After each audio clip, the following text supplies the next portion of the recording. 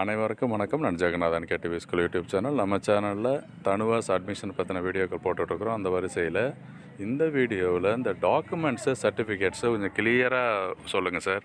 கொஞ்சம் குழப்பங்கள் இருக்குது அப்படின்ட்டு கமெண்ட் செக்ஷனில் ஃபோன் கால் வாட்ஸ்அப் மெசேஜ்லாம் வந்துட்டுருக்கு அதுக்கு ஒரு விளக்கம் கொடுக்கலாம்னு சொல்லிட்டு தான் இந்த கவுன்சிலிங் இருபத்தி நாலாந்தேதி பிப்ரவரி ஆரம்பிக்குது. அப்போ என்னென்ன டாக்குமெண்ட்ஸு சர்டிஃபிகேட்ஸ் கையில் இருக்கணும்? ஒரிஜினல் எடுத்துக்கிட்டு போகணும். எடுத்துகிட்டு போகணும் இல்லை அப்லோட் பண்ணணும்? டாக்குமெண்ட்ஸும் ரொம்ப ரொம்ப முக்கியம். தரவாக பாருங்கள் இந்த வீடியோவும் பாருங்கள் ஆடியோவை லிசன் பண்ணுங்கள் ஸ்கிப் பண்ணாமல் ஜம்ப் பண்ணாமல் கேளுங்க. இதுவரை நம்ம சேனலை சப்ஸ்கிரைப் பண்ணலைன்னா பண்ணி வைங்க. இந்த இன்ஃபர்மேஷன் பிடிச்சிருந்தா ஷேர் பண்ணுங்கள் லைக் பண்ணுங்கள் முதல் பாயிண்ட் என்னென்னு கேட்டிங்கன்னா கலந்தாய்வு கூட்டத்திற்கு அழைக்கப்படும் விண்ணப்பதாரர்கள். முக்கியமானது இல்லையா ஒரிஜினல் சர்டிஃபிகேட்ஸு அங்கே அவசியம் இருக்கணும். இது வந்து ஸ்பெஷல் கேட்டகரிக்கு மட்டும் கிடையாது. ஐ மீன் எல்லா ஜெனரல் கேட்டகரிக்கும் உண்டு. என்ன ஒன்று ஆஃப்லைன் ஆன்லைன் இது ரெண்டு தான் டிஃப்ரென்ஸ் கவுன்சிலிங் மோடு ஸோ இப்போ நம்ம பார்க்குறது ரெண்டுக்குமே அப்ளிகபிள் தான்.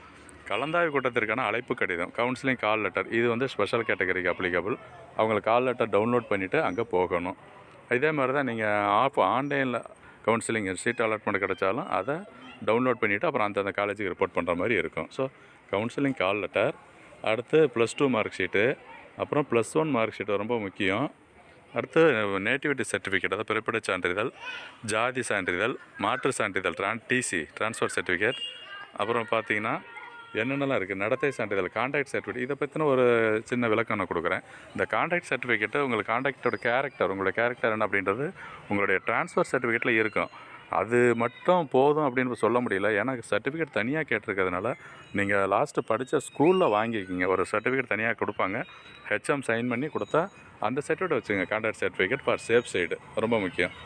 அடுத்ததாக சிறப்பு பிரிவு அதாவது ஸ்பெஷல் கேட்டகரின்னு பார்த்தப்போ அந்த sports differently abled ex servicemen category இவங்களுக்கெல்லாம் அந்த ரிலவெண்ட் சர்டிஃபிகேட்ஸ் அவசியம் கையில் இருக்கணும்.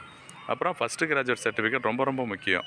அந்த நீங்கள் இந்த ஃபீஸ் எல்லாம் டிமாண்ட் பண்ணுறதா இருந்தால் ஐ மீன் ஃபீஸ் கிளைம் பண்ணுறது அதுக்குன்ற ரொம்ப முக்கியம் அது. அடுத்து வருமான சான்றிதழ் கேட்டிருக்காங்க.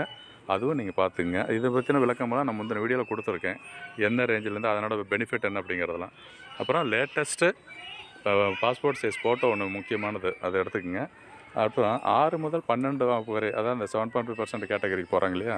அவங்களுக்கான சர்டிஃபிகேட் கவர்மெண்ட் ஸ்கூலில் படித்ததுக்கான சர்டிஃபிகேட் இந்த பன்னிரெண்டு சர்டிஃபிகேட்ஸ் டாக்குமெண்ட்ஸ் இருக்குது ரொம்ப முக்கியமான ஐட்டம் தொடர்ந்து நம்ம வீடியோலாம் பாருங்கள் இன்னும் அடுத்தடுத்த அப்டேட்ஸ் கவுன்சிலிங் பற்றின விஷயம் வந்துகிட்டே இருக்குது உங்களுக்கு சந்தேகங்கள் கேள்விகள் எது இருந்தாலும் கமெண்ட் செக்ஷன் பண்ணுங்கள் நிச்சயம் ரிப்ளை பண்ணலாம். இது இதுவரை நம்ம சேனலை சப்ஸ்கிரைப் பண்ணலாம். பண்ணி வைங்க வீடியோ பிடிச்சிருந்தால் ஷேர் பண்ணுங்கள் லைக் பண்ணுங்கள் தேங்க்யூ ஃபார் வாட்சிங் கேடிவி ஸ்கூல்